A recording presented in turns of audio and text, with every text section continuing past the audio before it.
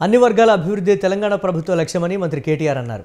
గౌడ ఆత్మీయ సమ్మేళనంలో పాల్గొన్న మంత్రి సంక్షేమంలో తెలంగాణ మొదటి స్థానంలో ఉందన్నారు. పేదలకు రెండు వేల పెన్షన్ అందిస్తూ ఆసరాగా నిలిచామన్నారు. రైతు బంధు కళ్యాణలక్ష్మి లాంటి పథకాలతో అందరికీ ప్రభుత్వం అండగా నిలిచిందన్నారు.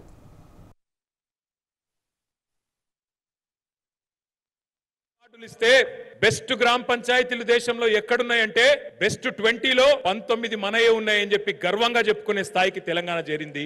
మున్సిపాలిటీలకు అవార్డులు ఇస్తే ఉత్తమ మున్సిపాలిటీలు ఎక్కడున్నాయి దేశంలో అంటే బ్రహ్మాండంగా ఈ రోజు మొత్తం దేశంలోని ఇరవై ఎనిమిది రాష్ట్రాల్లో రెండో స్థానంలో తెలంగాణ నిలిచింది.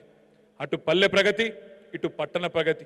ఈ రకంగా అటు అభివృద్ధిని ఇటు సంక్షేమాన్ని జోడించి చక్కగా కార్యక్రమాలు చేసుకుంటూ ముందుకు పోతున్నాం. ముఖ్యంగా పేదలను కడుపులో పెట్టుకొని రెండు వందల రూపాయలున్న పెన్షన్ రెండు వేల రూపాయలు చేసుకున్నాం.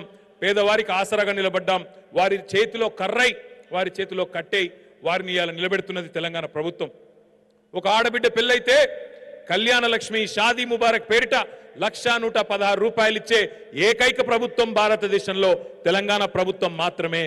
అదే ఆడబిడ్డ ప్రసూతికి పోతే కేసీఆర్ కిట్ ఇచ్చి మగబిడ్డ పుడితే పన్నెండు వేలు ఆడబిడ్డ పుడితే పదమూడు వేల రూపాయలు ఇచ్చి ఆ అమ్మాయి గర్భవతి అయినప్పుడు పనిచేసే అవసరం లేకుండా ఆమె కనీస వేతనం అందే విధంగా చూస్తున్నది తెలంగాణ ప్రభుత్వం.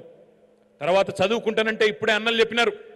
ఎస్సీ కావచ్చు ఎస్టీ కావచ్చు బీసీ కావచ్చు మైనారిటీ కావచ్చు. భారతదేశంలో ఎక్కడ లేవు.